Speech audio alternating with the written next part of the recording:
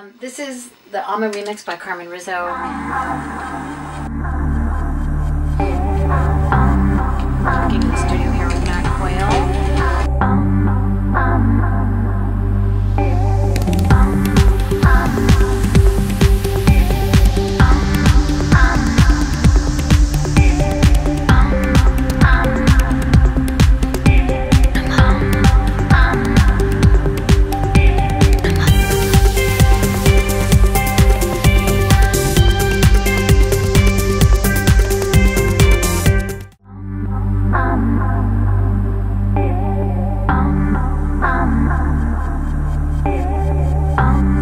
I'm